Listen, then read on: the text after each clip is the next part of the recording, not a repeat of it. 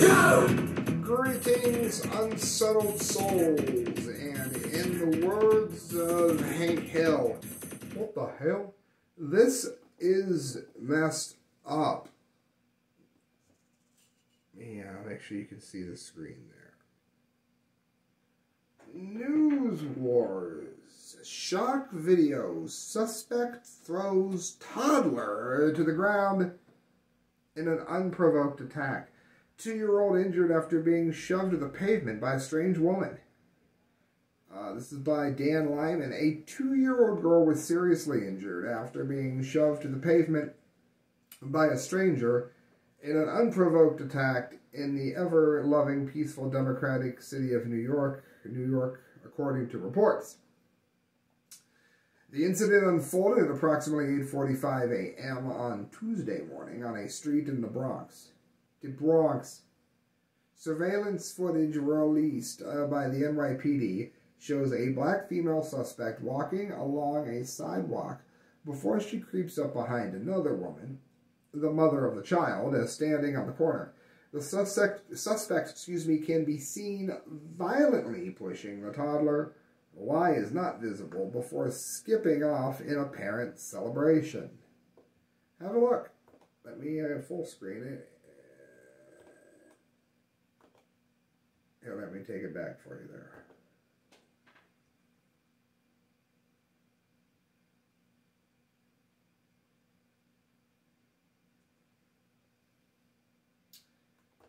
Uh, all right, there isn't any sound friends, what the hell? Anybody? Definitely on something. Uh, there, anyone with any information is told to call 1 800 577 TIPS. The tiny victim reportedly struck her head on the ground and required emergency medical treatment. The little girl was taken, it says, by EMS to an area hospital and listed in stable condition, according to police. Further extent of her injuries was not made clear, Pix 11 reports. The woman police are looking for was described as between the ages of 35 and 45, about 5 feet 4 inches tall, weighing about 130 pounds. Last seen wearing a white t-shirt, black shorts, and red sneakers. Once again, 1-800-577-TIPS. If you know this remarkable young lady. Uh, friends, granted, that's one story from one nutcase. Eh, I completely and totally get that, and I don't wish to say that all of society is indicative of one idiot. That I don't think that's a responsible thing to say. But it's clear. It's been this way. I noticed this 20 years ago. People used to say you have to be smarter than the average man walking down the street. Well, I began to notice that the average man was kind of an idiot and things are getting worse now. We don't value human life. We don't value any of that because we took the fundamental truths of Christianity and replaced them with the objectivity of a non Christian outlook. And you can say that that's not very inclusive to say, but that's the problem that we're looking at. Beyond that, we have been spoon fed a a hip hop culture that says I'm gonna get mine regardless of what happens to anybody else. I'm gonna get mine, and you best believe I'll be getting mine. That means get yours, even if what you're getting is just the jollies and the, the feeling of accomplishment by pushing a child to the ground the rush you get from taking hard drugs that make you feel as though you have accomplished something, even though you haven't, that rush is the same. And I understand people are going to say hedonism's been with us in the rock era. It was with us with disco. It was with us, you know, on. I get that. But it used to be go out, bang as many women as you want, go out, drink yourself into oblivion. It was never push children to the ground if you want to. It was never steal and rob and murder if you have to, as long as you get yours. That was never the overreaching message. There's always been people like that. Of course there have. But that's never been the overreaching message. There's also never been an overreaching common societal myth like we have now with things like white uh, privilege, of which completely does not exist. But we're sold it as if it was a reality, so now we've got races looking at each other strangely, based on a provable lie.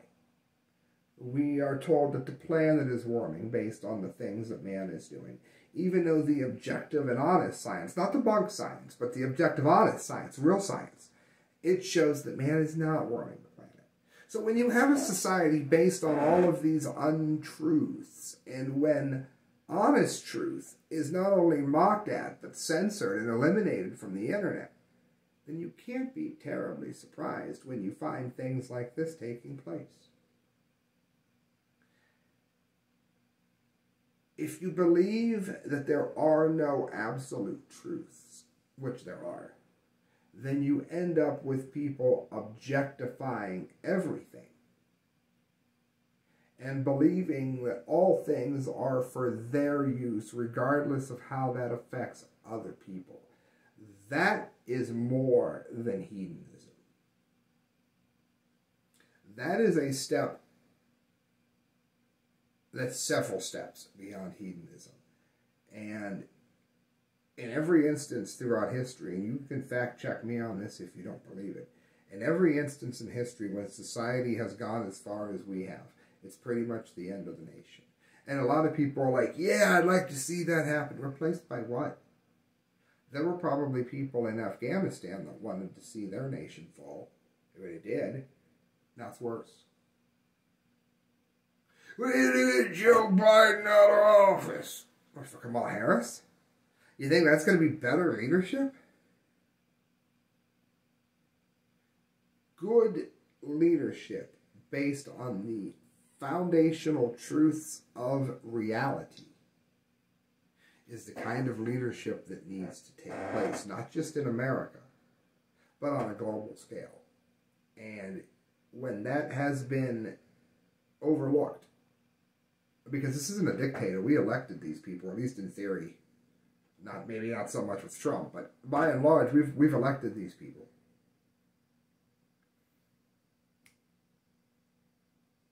And now we saw what we just saw in that video. Let me know what you guys think. I think I spoke a whole lot of truth there. You rewind this three minutes back and listen to it, you'll get all kinds of nuggets of absolute. Like, why is this happening? People say, listen to listen to this video. It'll tell you why it's happening. Hit share, hit subscribe. Let me know what you guys think in the comment lines. I hope you're listening from Opera News. Let me know if you are. Get a hold of me at the correct views at hotmail.com. Good night, friends. God bless.